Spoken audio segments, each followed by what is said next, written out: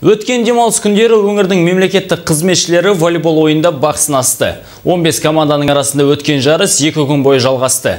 Дода қорытындысы бойынша бірінші орынды Есіл ауданының құрамасы жеңіп алды.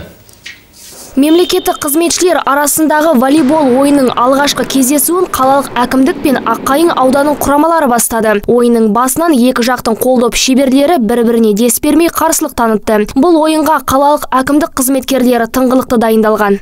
волейболмен әуесқой ретінде ә, айналысамын Ә, мен ә, енді бірінші рет қатысып отырмын барлық жастарды шақырамын маған ұнайды. Бірінші партияның соңына дейін екі құрама тең ойнап жеңісті қолдарынан бермеуге тырысты. Алайда шешуші 25-ші ұпайды Аққайың ауданының құрамасы алып қарсыласын тізе бүктірді. осы жарысқа екінші рет қатысқалы отырмын.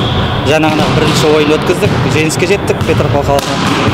Алда тағы да ойындар бар. Енді жұмыстан кейін әрбір дайындаламыз. Бәріміз жиналып жаттығу жасаймыз Жалпы жарыста облыс пен қаладан жиналған 15 құрама бақ сынасты.